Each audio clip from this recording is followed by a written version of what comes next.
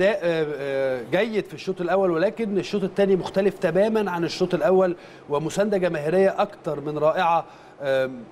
أضعنا آه، فرصة أو فرصتين في الشوط الأول ولكن مساندة الجمهور الحقيقة من الدقيقة الأولى للدقيقة 90 أعتقد كان لها دور كبير جدا النهارده. آه الحمد لله. آه فوز آه عظيم قوي لجماهير النادي الأهلي والنادي الأهلي. عودة الثقة على هذا الفريق المحترم. الفوز عليه. آه التعرف على هوية هذا الفريق كمان وهو في هذه المباراة الكبيرة اللي إحنا لعبناها اداء ونتيجة وكل شيء. إحنا كنا محتاجين ال- الشكل ده في هذا الوقت. وفي هذه المباراة بالذات اللي إحنا زي ما قلنا في 90 دقيقة تانية بقى عندنا معلومات كافية جدا عن هذا الفريق. إزاي هنتعامل معاه؟ إزاي هنقابل ال 90 دقيقة الجاية تبقى في مصلحتنا برضو؟ تبقى في الضغط عليهم برضو ادي شفناهم. إحنا لما ضغطنا عليهم النهارده فقدوا نص لعبهم. ما كانوش كل اللي يقدروا يعملوه انهم يلعبوا كرة طويلة كور مشتركة يطفشوا.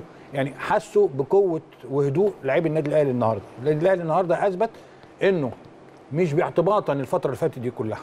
لما بيلعب على الأطراف والكره في نص الملعب بيبقى زي ما إحنا قلنا لو حصل حالة امتياز وحالة تقارب من الخطوط والاستلام والهدوء في الأعصاب مفيش ميس باص كتير بيديك أفضلية في الملعب كله خاصة لما يكون عندك لعيب زي علي معلول وجونيور أجاييه وإيلي جيانج.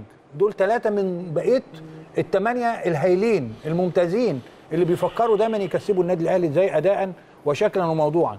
فمن غير ما يعني أقدر أتكلم عن المباراة دي الحقيقة نفسيا أنا وأنا قاعد بتفرج حاسس إن الأهلي يقدر يجيب الثالث ويقدر يجيب الرابع وفي كل هجمة مرشح إن هو يقدر يفوز أكتر من خمس أهداف كان في المباراة دي.